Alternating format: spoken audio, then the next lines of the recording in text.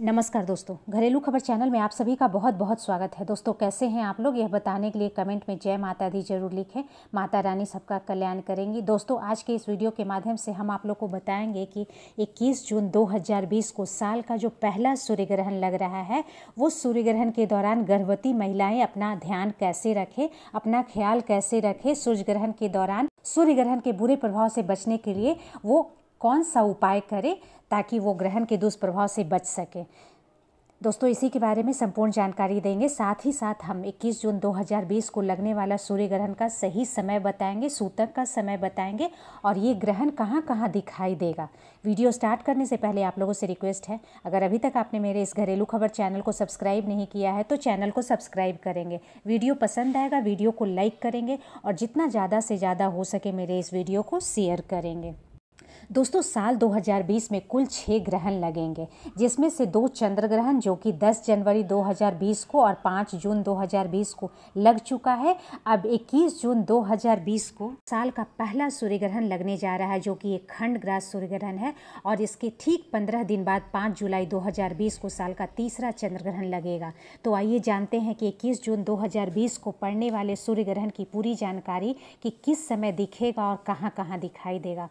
तो सूर्य ग्रहण एक अद्भुत खगोलीय घटना है। सूर्य ग्रहण तब होता है जब पृथ्वी और सूर्य के बीच चंद्रमा आ जाता है। 21 जून 2020 को पड़ने वाला ग्रहण खंडग्रास सूर्य ग्रहण होगा। खंडग्रास सूर्य ग्रहण में चंद्रमा सूर्य को आधा ही ढक पाता है, लेकिन इस बार का सूर्य ग्रहण छल्ले के रूप में दिखाई देगा, जिसे रिंग ऑफ़ फायर भी कहा जाता है। यह आषाढ़ मास की अमावस्या के दिन रविवार को लगने वाला है। यह सूर्य ग्रहण भारत में दिखाई देगा। साथ ही यह दक्षिण रूस, Mongolia, Bangladesh, Sri Lanka, Thailand, Malaysia, Japan, Korea, पूर्वी Australia, Africa, Iran, Iraq, Afghanistan, Nepal, Pakistan आदि देशों में भी दिखाई देगा। 21 जून 2020 को पड़ने वाला सूर्य ग्रहण सुबह दस बजकर चौदह मिनट से लेकर दोपहर एक बज के अड़तीस मिनट तक रहेगा। इस सूर्य ग्रहण की कुल अवधि लगभग तीन घंटे से ऊपर की होगी। सूर्य ग्रहण का सूतक 12 घंटे पहले शुरू हो जाता है। इसलिए इस सूर्य ग्रहण का सूतक काल 20 जून 2020 को रात में दस बजकर चौदह मिनट पर शुरू हो जाएगा, जो कि सूर्य ग्रहण के साथ ही 21 जून 2020 को दोपहर में समाप्त होगा। अब चलिए जान लेते हैं कि 21 जून 2020 को सूर्य ग्रहण के दौरान प्रेग्नेंट लेडी को क्या करना चाहिए और क्या नहीं करना चाहिए, कौन सी सावधानियाँ बरतनी चाहिए।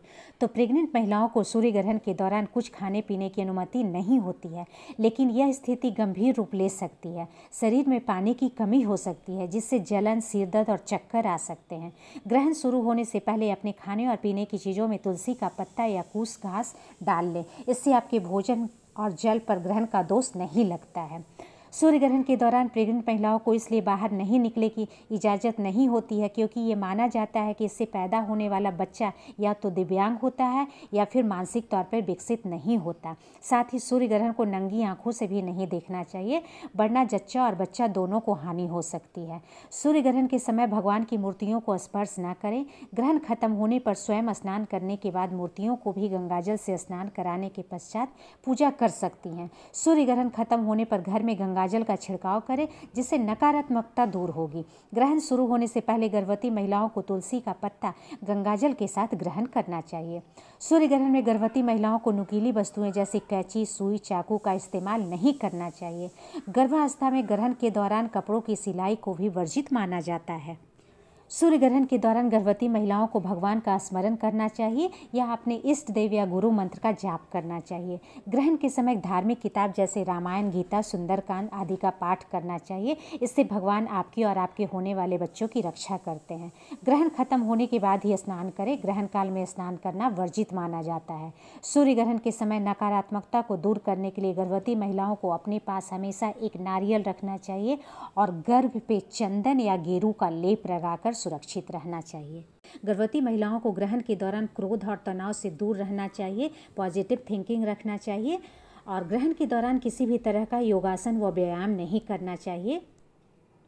इसके बाद भी बहुत सी गर्भवती महिलाओं का ये एक सवाल होता है कि मैम, ग्रहण के टाइम में मैं सो गई थी तो कुछ होगा तो नहीं। तो इसमें सतर्क रहना है। ग्रहण के समय भूल कर भी नहीं सोना है। इसके लिए आपको क्या करना है? ग्रहण शुरू होने से पहले अपने सिर से पैर तक का एक धागा नाप के उसे जिस घर में आप रहती हैं, उसी घर में कहीं पे उसको टांग दें और ग्रहण की समाप्ति के पास उस धागे को कहीं दूर जाके फेंक दें।